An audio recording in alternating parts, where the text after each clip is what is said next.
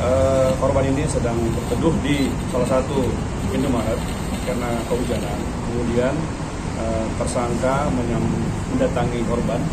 Nah, korban ini dirampas eh, tas tasnya yang berisi HP, kemudian melukai, yang melukai dengan sajam ini satu jenis kita eh, tubuh korban. Nah, kemudian setelah itu tersangka melarikan diri.